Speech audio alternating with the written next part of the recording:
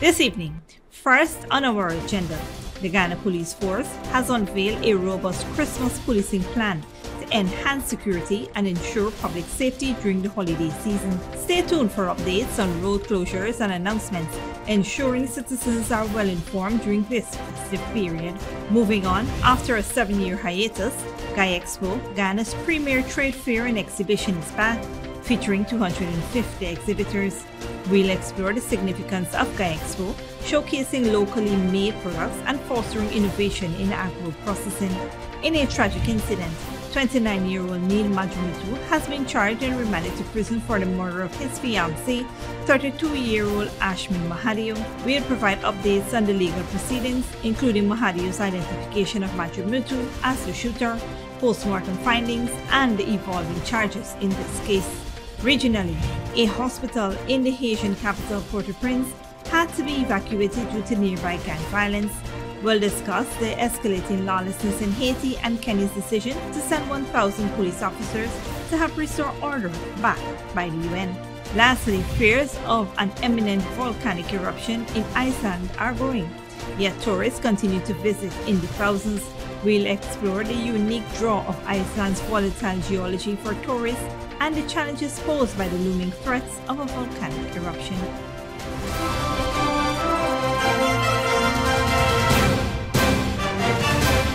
Welcome to this broadcast of Channel 2's Headline News Update for November 16, 2023. I'm Baby Bacchus. Thank you for joining us.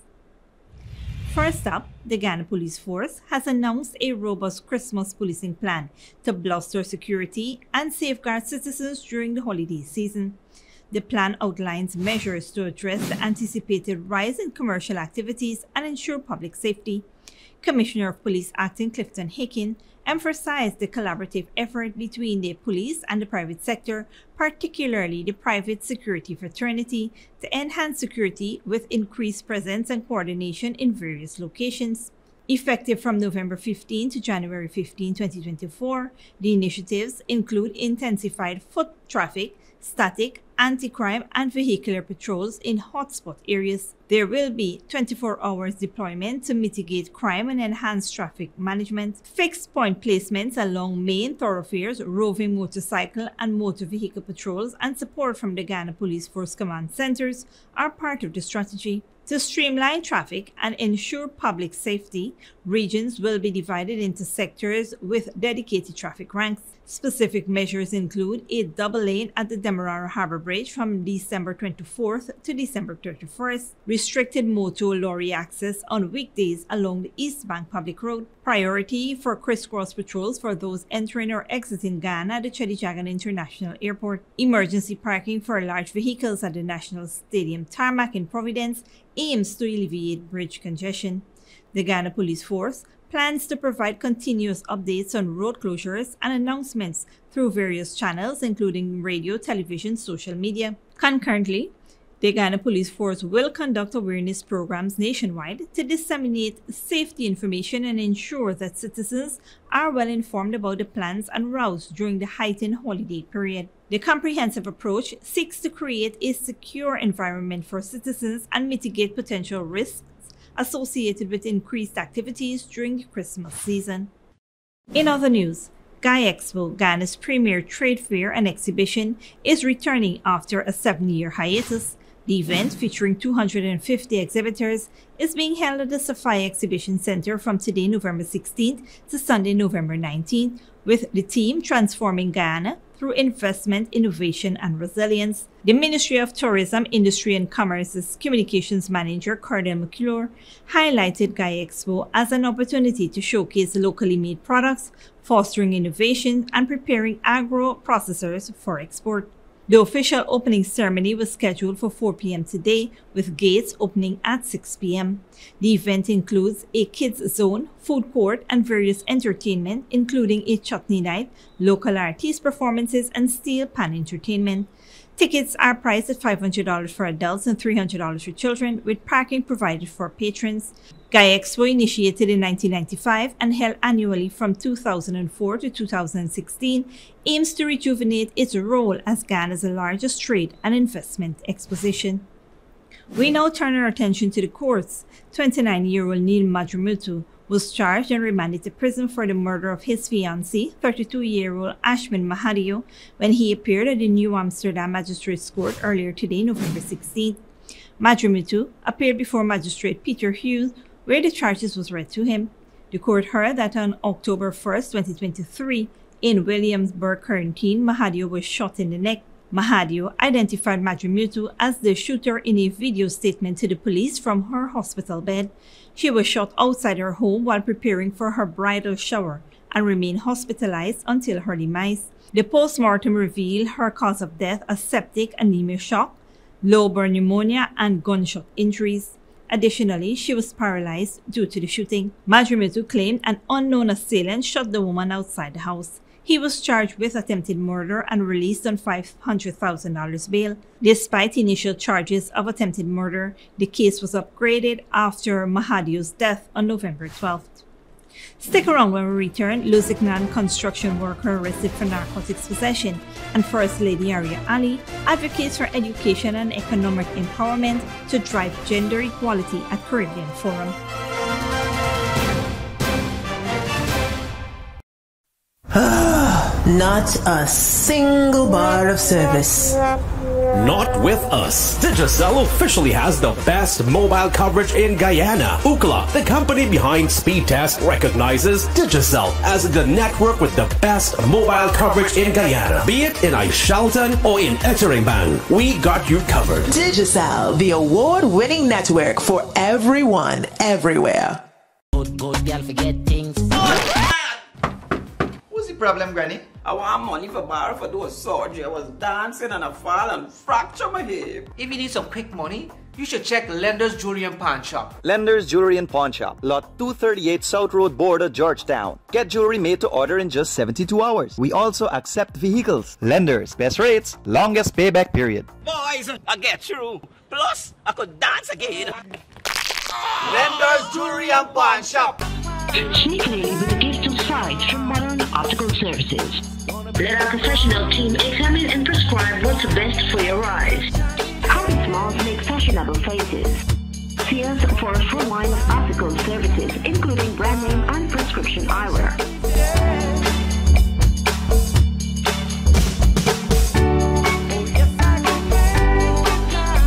Modern Optical Services. 316 Middle Street, Georgetown. Telephone 226-1082.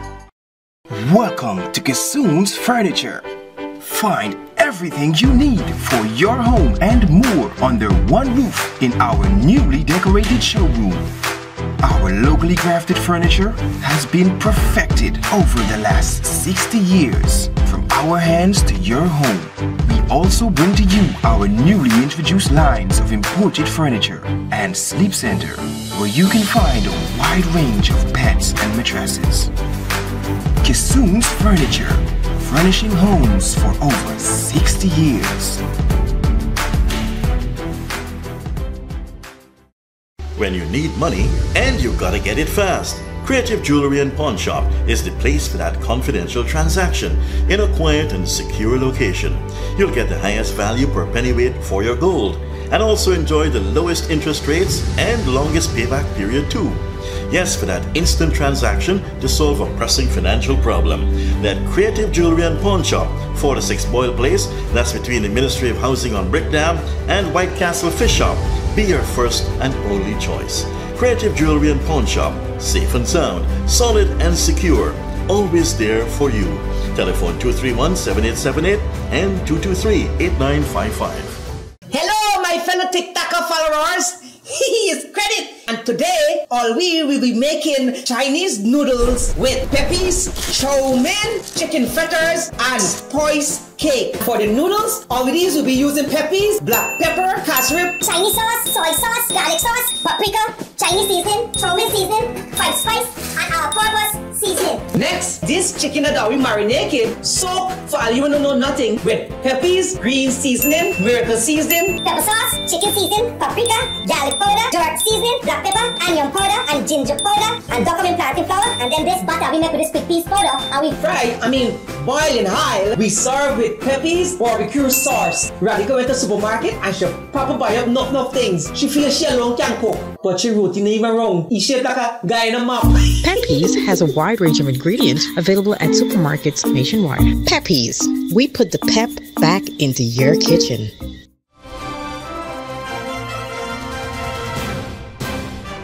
Welcome back.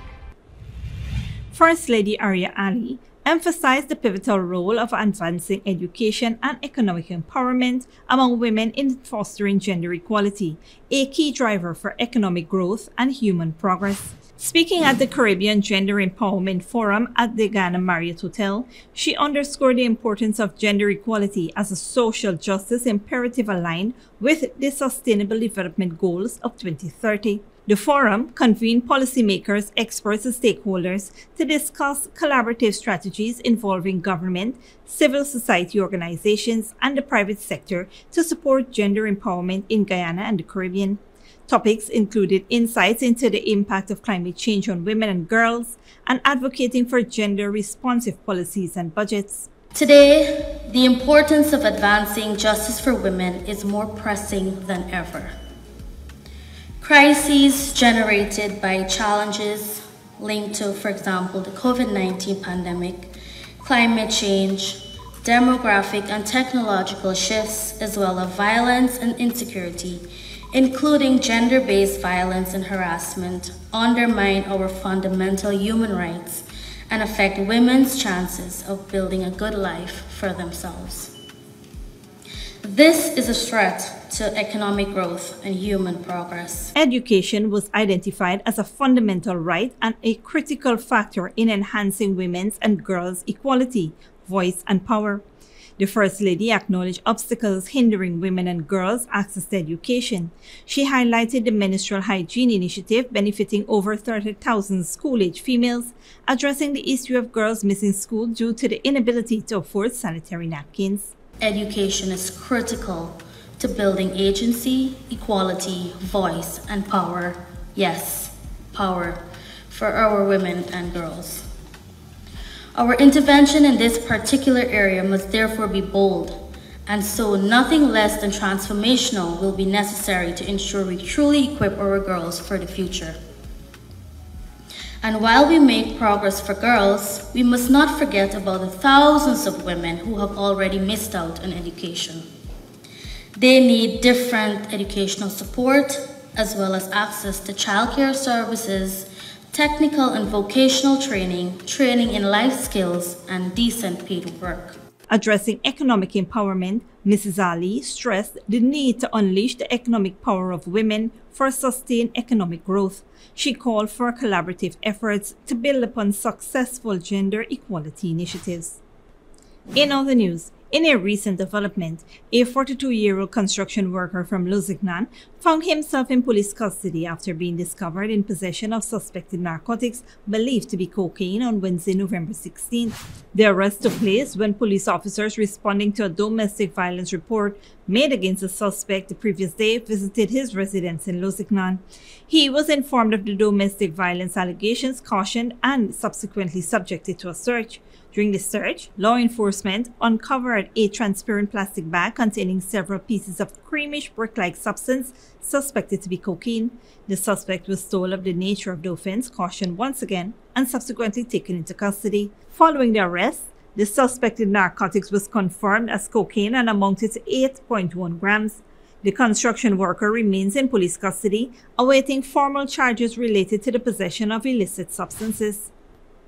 Don't go away after the break. War in Gaza, Israel's claim of rights to self-defense question, and South Africa protests, debate on cutting ties with Israel.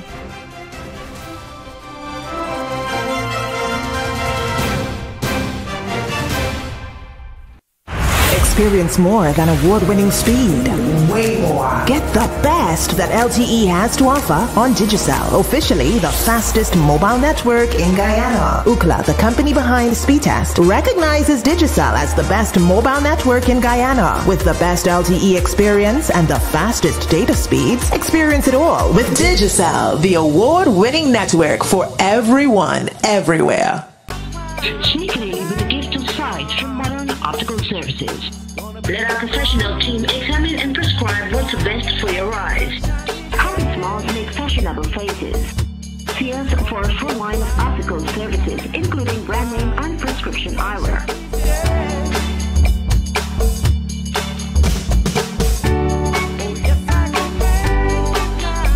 Modern Optical Services. 316 Mill Street, Georgetown. Telephone 226-1082. Followers. He is credit. And today, all we will be making Chinese noodles with peppies, chow mein, chicken fritters, and spice cake. For the noodles, all these will be using peppies, black pepper, cashew, Chinese sauce, soy sauce, garlic sauce, paprika, Chinese seasoning, chow mein seasoning, five spice, and all-purpose seasoning. Next, this chicken that we marinated, soak for all you don't know nothing with peppies, green seasoning, miracle seasoning, Pepper sauce, chicken seasoning, paprika, garlic powder, dark seasoning, black pepper, onion powder, and ginger powder, and document plantain flour, and then this butter we make with this quick piece powder, and we fry, I mean, boil in high. We serve with peppies, barbecue sauce. Go into the supermarket and she proper buy up enough enough things. She feels she alone can cook, but she routine even wrong. He shaped like a guy in a map. Peppies has a wide range of ingredients available at supermarkets nationwide. Peppies, we put the pep back into your kitchen. Good, good girl forget things. Oh, What's the problem, Granny? I want money for borrow for those surgery. I was dancing and I fall and fracture my hip. If you need some quick money, you should check Lender's Jewelry and Pawn Shop. Lender's Jewelry and Pawn Shop, lot 238 South Road Border, Georgetown. Get jewelry made to order in just 72 hours. We also accept vehicles. Lenders, best rates, longest payback period. Boys, I get through. Plus, I could dance again. Lender's Jewelry and Pawn Shop. When you need money and you gotta get it fast. Creative Jewelry and Pawn Shop is the place for that confidential transaction in a quiet and secure location. You'll get the highest value per pennyweight for your gold and also enjoy the lowest interest rates and longest payback period too. Yes, for that instant transaction to solve a pressing financial problem. That Creative Jewelry and Pawn Shop, 46 Boyle Place, that's between the Ministry of Housing on Brick Dam and White Castle Fish Shop, be your first and only choice. Creative Jewelry and Pawn Shop, safe and sound, solid and secure, always there for you. Telephone 231-7878 and 223-8955. Welcome to Kissoon's Furniture. Find everything you need for your home and more under one roof in our newly decorated showroom. Our locally crafted furniture has been perfected over the last 60 years. From our hands to your home, we also bring to you our newly introduced lines of imported furniture and sleep center, where you can find a wide range of beds and mattresses. Kissoon's Furniture, furnishing homes for over 60 years.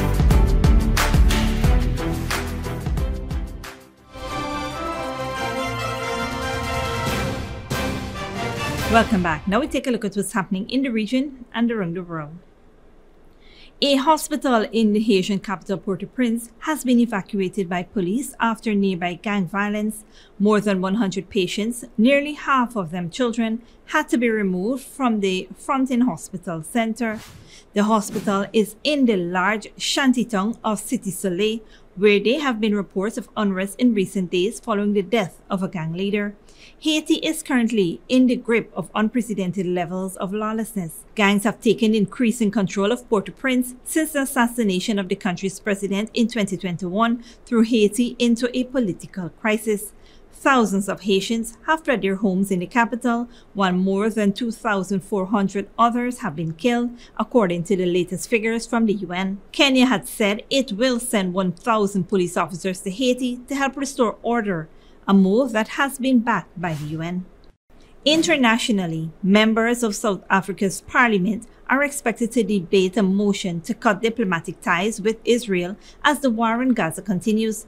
South Africa withdrew its ambassador from Israel five years ago due to what it said were human rights violations, but voters remain divided on the conflict. Al Jazeera's Fahmida Miller reports. As the war on Gaza continues, South Africans have held dozens of protests, prayer meetings, and pickets, some in support of Israel, others, like this one in Cape Town, calling for a ceasefire and end to the genocide. However, the protest quickly descended into chaos as police fired water cannon and stun grenades. Some blame tensions between opposing groups, while others hold the police responsible. They could have uh, de escalated the situation uh, much more professionally. Even if there was agitation on both sides, and we say, and there was, and uh, which there was, and we say even the even the law enforcement uh, only added to escalate the situation. While South Africa's government supports a two-state solution, President Cyril Ramaphosa has warned of Israel committing genocide. South Africa has in recent days recalled all its diplomats from Israel, which many within or supporting the Jewish community say is concerning. There have been incidents that you find of boycotts of Jewish businesses and these sorts of things, and I think that that makes the community feel very uncomfortable. We can't have a government that is choosing side. We did, uh, we did this thing called uh, non-aligned with Russia. But why is it that on Israel we become ideological and we become radical on this issue? Christians in this country stand and support Israel. As the war continues, so do the demonstrations. This one led by school children. We have a moral responsibility to actually show them that we need to fight for something, especially in a country that has seen apartheid. We want to spread awareness as much as we can um, with the genocide that is taking place. Um, thousands of people have lost their lives. Opposition party, the Economic Freedom Fighters, wants the government to cut diplomatic and economic ties with Israel. It's put forward a motion for that to be debated in Parliament. A debate that, while the governing African National Congress may support, is likely to see divisions within Parliament too. Fahmida Miller, Al Jazeera. Israel says it has a right to defend itself in the response to last month's attack by Hamas, but many people have accused it of breaching international law and ignoring the root cause of the conflict, Al Jazeera's Rasul Sardar reports. After Hamas attacked Israel on October 7th, Prime Minister Benjamin Netanyahu once again labeled the group a terrorist organization. And the leaders of the six major Western nations released a joint statement expressing their support for Israel's right to self defense. But many analysts say Israel's war on Gaza cannot be justified as self defense because it's an occupying power and Palestinians in Gaza are an occupied people. The Israeli response cannot by any stretch of the imagination, be described as a measure of self defense. Look at the scale of the killing. That is not self defense, that is slaughter of civilians on an industrial scale. Over the years, dozens of United Nations General Assembly resolutions have supported liberation movements in their struggle for self determination.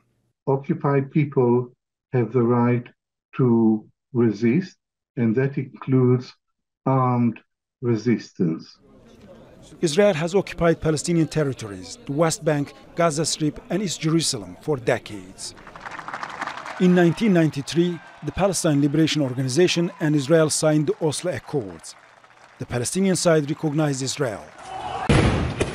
But occupation continued. Illegal Israeli settlements expanded, peaceful protests were violently suppressed, election results rejected in January 2006, Hamas won a fair and free election, not just in Gaza, but in the West Bank uh, as well. The United States and European Union, to their eternal shame, backed Israel and joined Israel in um, economic warfare and eventually managed to overthrow the Hamas uh, government. So Hamas did try the parliamentary road to power, but that avenue was blocked. For more than five weeks, Israel has imposed a complete siege on already blockaded Gaza, cutting off essential supplies and forcibly displacing hundreds of thousands of Palestinians to the southern part of the Gaza Strip. The Israeli plan is to make life utterly impossible in the south. People will escape from the hell of Gaza. So, yes, I would say that Israel is attempting ethnic cleansing of the Palestinians in Gaza. Thousands of Palestinians have been killed in Israel's relentless bombardment of Gaza. Health ministry figures show a Palestinian child is killed every 10 minutes. With Netanyahu declaring the Israeli army will remain in Gaza even after the war, Palestinians have little hope of a future free of occupation. Rasul Sardar, Al Jazeera. And finally, fears of an imminent volcanic eruption in Iceland are growing, but tourists are still visiting in the thousands. Iceland's volatile geology is one of the key draws for tourists from around the world. Al Jazeera's Harry Fawcett reports. Driving into the heart of Iceland's volcanic exclusion zone. The town of Grindavik lies empty, its nearly 4,000 residents ordered to leave in a hurry after the earth was shaken by a sudden inflow of magma on Friday. Fears of an eruption remain high. Even without one, the earthquake swarm has left wide-scale damage. But this is about much more than simply repairing the damage that has been done here. There is serious consideration being given to whether this place will ever be habitable again. The exclusion zone includes one of Iceland's most famous tourist destinations, the Blue Lagoon geothermal pool. Efforts are underway to protect it and a nearby power plant. Iceland's tourism minister says so far visitors have not been put off. The international airport is open and it is safe and so we uh, expect that we will have tourists go to other lagoons which we have uh, all over the country. This isn't a first for Iceland's tourism industry. The 2010 eruption of Eyjafjallajökull caused massive disruption. But the publicity sparked global interest in Iceland's geology and helped quadruple foreign visitor numbers to more than 2 million a year. 10% of them visiting Iceland's lava center, a short drive from the site of that devastating eruption. It was a huge um, disaster while it lasted. Uh, but after that, we've, we've reaped the benefits, not only in tourism, but also uh, regionally when it comes to agriculture and other things. So I think that's kind of one of the message from Icelanders that are used to this harsh nature. Like if you treat nature kindly, it will treat you kindly back. Nature's kindness might feel in short supply in and around Grindavik right now, but in Iceland, people have long learned to live with and adapt to the powerful forces that shape their land. Harry Fawcett, Al Jazeera, Grindavik, Southern Iceland. This brings us to the end of the regional and global news coverage. Up next is the 3D weather forecast.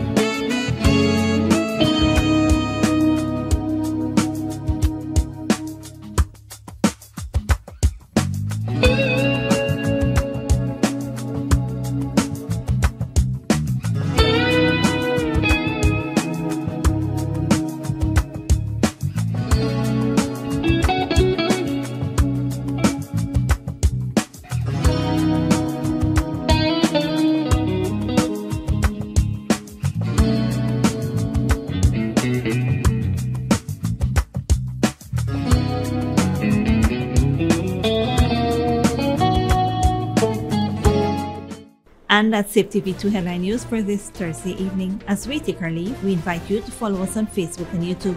You can tune in tomorrow at 6.30 a.m. for a rebroadcast and at 5.30 p.m. for more news. Until then, please take care of yourself and each other.